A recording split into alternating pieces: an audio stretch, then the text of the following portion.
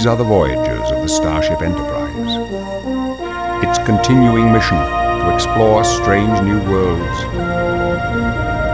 to seek out new life and new civilizations, to boldly go where no one has gone before.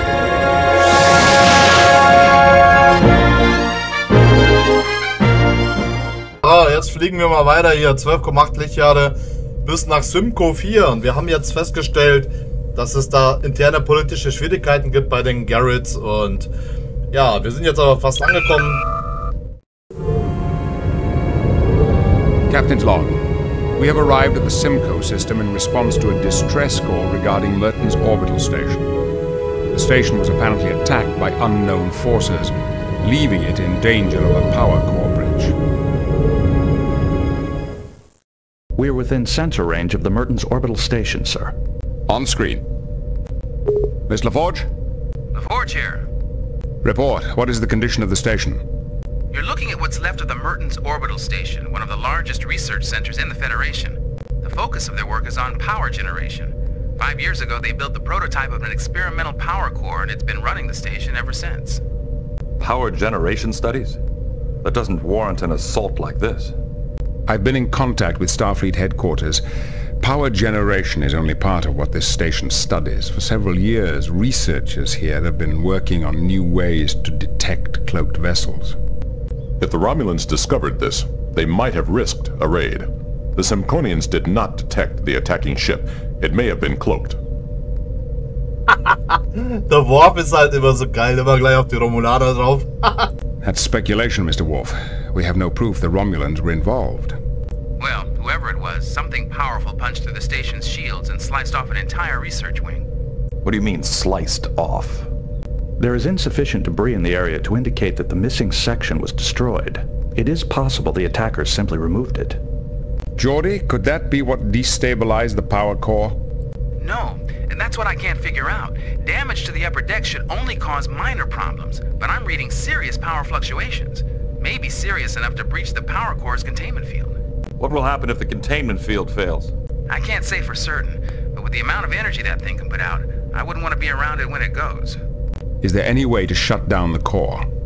There's a fail-safe mechanism which is supposed to jettison the core automatically in an emergency. I'd say this qualifies as an emergency. Why wasn't the core jettisoned? The only way to prevent it is by manual override. Someone has to be there to stop it. That means there's someone still alive in there. Data, are you picking up any life signs? The station's shielding is interfering with our sensors. I cannot tell if any of the crew are still alive. However, life support is still functioning. But power readings indicate that it may fail at any time. Dr. Crusher, Crusher here. we are nearing Merton's station. Are you prepared for casualties? My staff is ready to do double shifts. We can handle about 330 emergency cases, but we'll have to beam the rest down to Simcoe. Understood.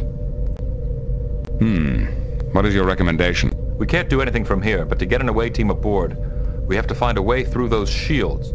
I believe I have a solution. The station's upper shields are badly damaged. If we establish a lock on a transporter on the upper decks, a transporter beam could penetrate the weakened shields. Once we're in, we should be able to jettison the power core. Then we can lower the station's shields and evacuate the wounded.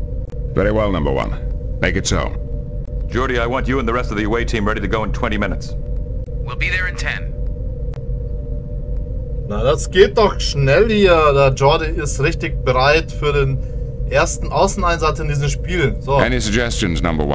I'm sorry, Captain, I don't have any suggestions. okay, dann gehen wir zum Probelift, Leute. Und dann zum Transporter. Ah, da kommt Riker, Worf Beam Russia. down coordinates selected. und Jordi ist auch dabei.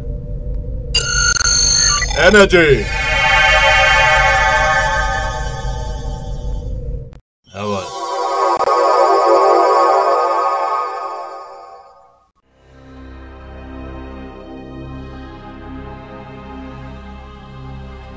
Hier kann man die Leute durchschalten.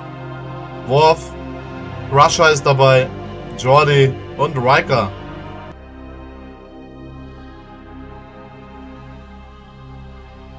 So, wir sind hier in diesem Raum gelandet, Leute, und ich würde mal sagen, wir schauen mal hier die Konsolen an. Look at the transporter panel. This is an unusual design for a transporter panel.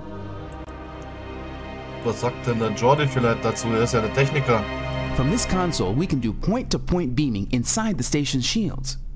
Aha. Kannst du das auch benutzen? Okay, irgendwas gab's hier. Use lock on. Data link to sensors is damaged. Enter coordinates for transport. Ja, keine Ahnung. Wo, wo ist denn hier? Welche Koordinaten denn? Keine Ahnung, wie komme ich denn hier It überhaupt didn't raus? work. Talk to It exit. didn't work. Achso. Äh, komme ich hier raus? Ja. Okay. Und hier? It didn't work.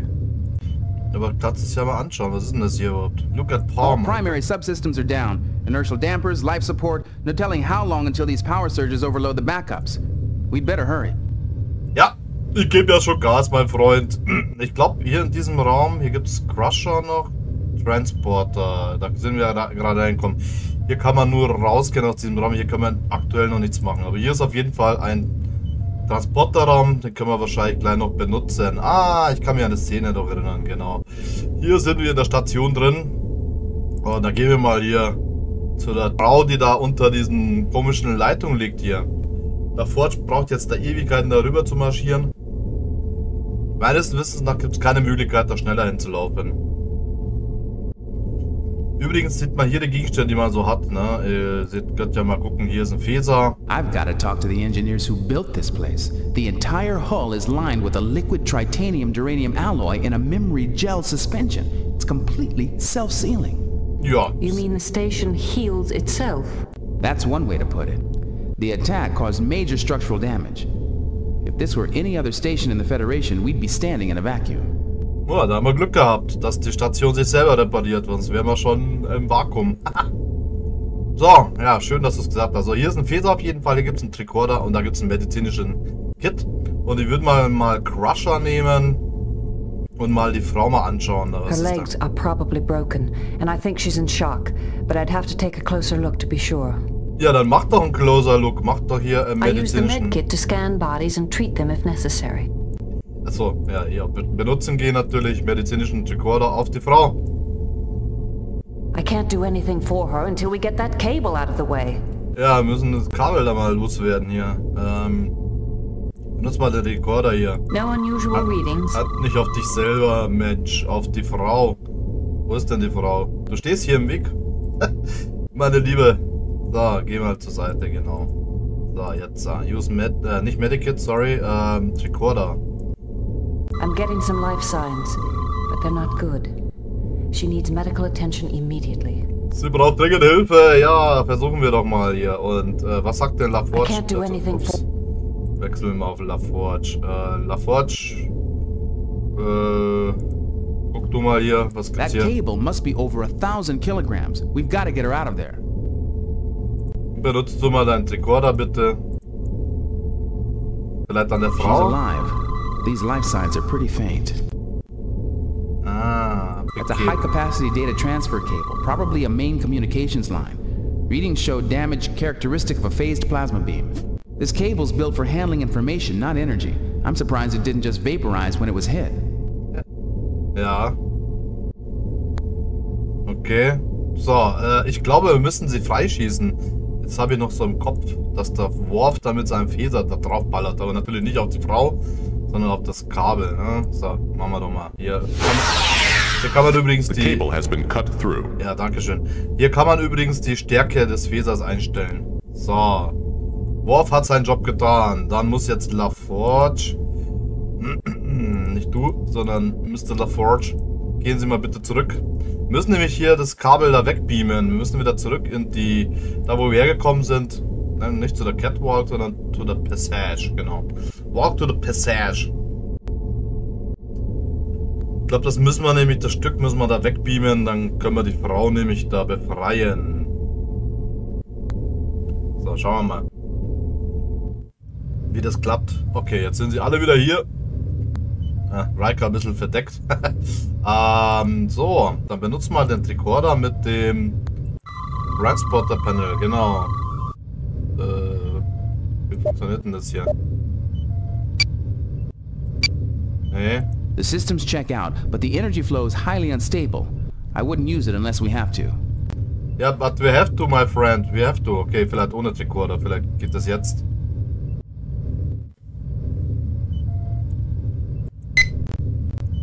Ah, jetzt kann man. Select Target for Transporter Lock. Man kann die Frau rausbeamen, aber da würde sie mit dem Kabel zusammen rausgebeamt werden. Deswegen beame ich mal ähm, das Kabel raus. Target locked, ready to energize. Also Leute, hier, wenn ihr einen Transporter habt, gibt das hier ein 33549.86673.22175 und schon habt ihr so einen schönen Kabel wahrscheinlich bei euch äh, vor der Tür.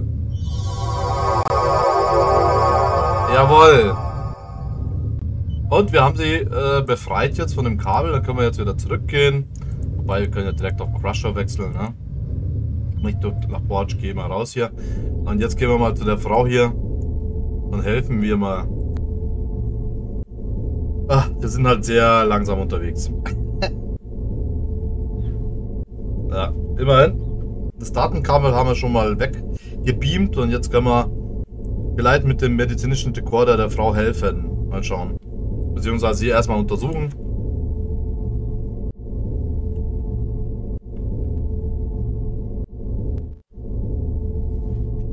Okay, cool. Ähm, da sind wir. Jetzt brauchen wir erstmal den medizinischen Rekorder. Ne, wir haben gar... Äh, doch, hier.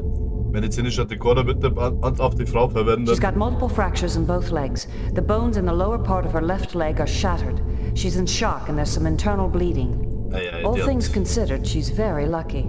I can take care of the worst of her injuries here, but I'd like to get her to sickbay. Ja, natürlich muss sie zu Sickbay auf die Krankenstation, heißt es übrigens auf Deutsch. Ähm, ja, dann benutzen wir das Medikit vielleicht mal, oder? Nicht an Crusher, sondern an Injured Woman. Ja. Wo läuft denn die lang? That takes care of the worst of her injuries. She's coming around now. Ah, sie wird langsam, kommt sie zu Bewusstsein.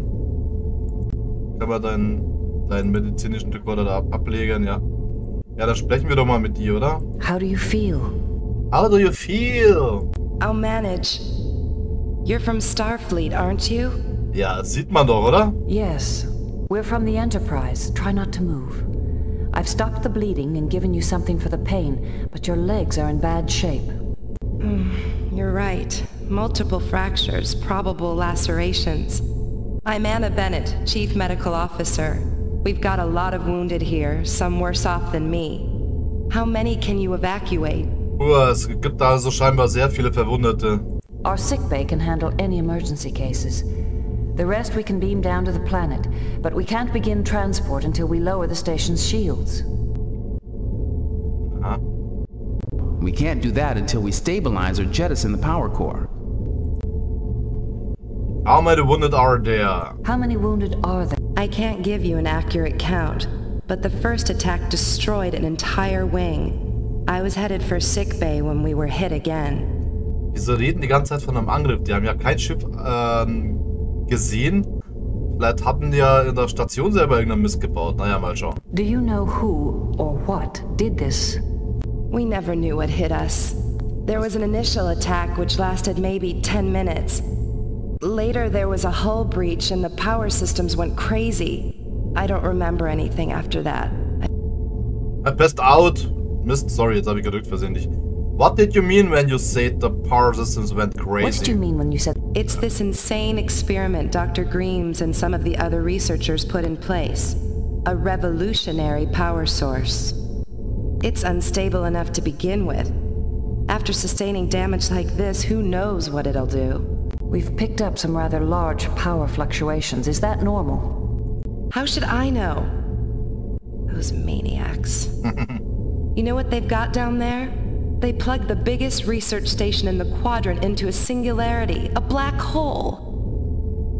A black Hole? Aha, aha, aha. Then why the instability? I thought most singularities were stable. Greaves came up with some scheme to increase the energy output.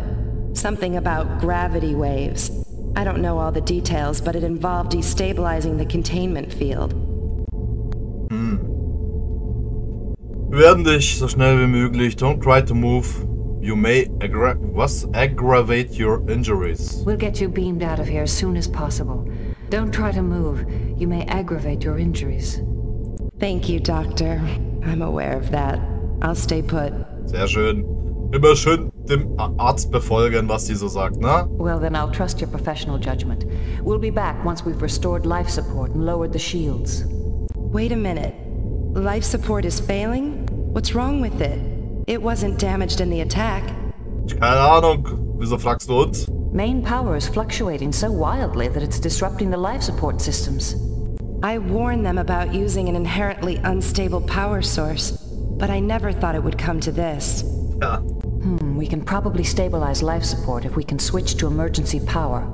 The only place you can do that is in station administration, and you'll need the security code to access the emergency systems. It's 334L42. Merkt heute das, Leute. 334L42. Thank you. Thank you. Anytime. Good luck. Anytime, ja. Du liegst da rum und dann Anytime, ne? Äh, wo kommt man hier weiter eigentlich? Kommen wir hier weitergehen? Ich weiß gar nicht mehr. Aha, hier kommen wir weiter. Und da ist ein Turbolift. Dann gehen wir doch mal dahin. Aber vielleicht, ja. Gehen wir halt. Aha, aha, aha. Jetzt hat man die Wahl zwischen Engineering und Administration. Ich würde mal sagen, wir gehen mal zu Administration zuerst. Ui, was ist hier los? Ähm, ich würde mal sagen, wir benutzen mal Jordi. Ist, glaube ich, die vernünftigste Wahl. Hier ist eine Konsole. Window, was ist hier? Äh, hier ist auch irgendwas. Control A lot of these systems are out. Ja, benutzt es trotzdem. It's dead. Power surges have disabled most of the station's Looks like a power surge knocked out the holotable. I could fix it if we had more time, or if I had a flux router, I could bypass the damage completely. Wie kommen wir denn hier weiter jetzt? Muss man das kennen oder was? I think we're in luck. This life support console's still active. Okay, da ist doch eine Konsole. Dann benutze es doch mal. Ah, jetzt gar.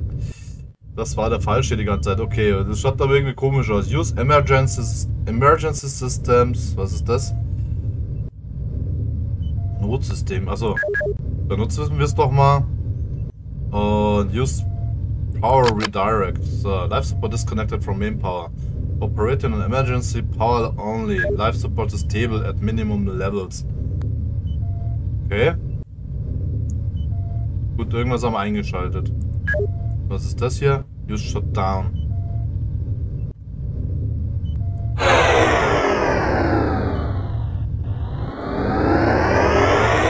Oh, jetzt haben wir äh, äh, das komplett ausgeschaltet. Ne, ich möchte das nicht komplett ausschalten. Dann sterben ja alle hier.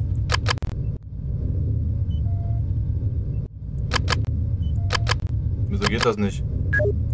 Kann man hier irgendwas drücken? Ne, ich weiß es gar nicht mehr. Ach, naja, okay. Ähm, Exit. Exit bitte. Okay, dann gehen wir doch mal... Hier ist ja nichts mehr, ne? Dann können wir hier vielleicht zum Maschinenraum gehen. Amazing. It's using a plasma suspension beam to draw energy straight out of the main conduits.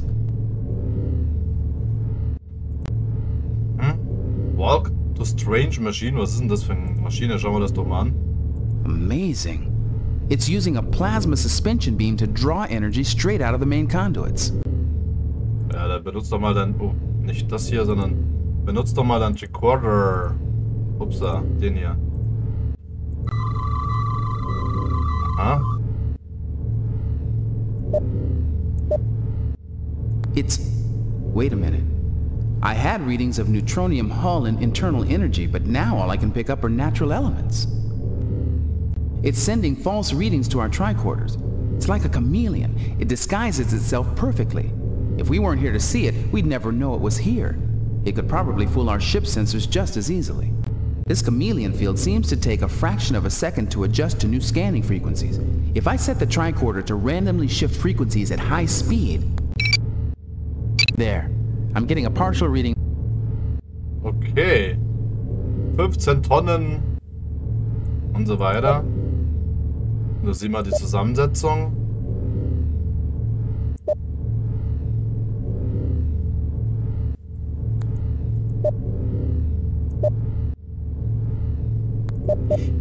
Ja, ich weiß nicht, was hier los ist, aber das ist eine komische yep, Maschine. It's a neutronium hull, all right, and a powerful energy source. I've never seen that much power in such a small package before.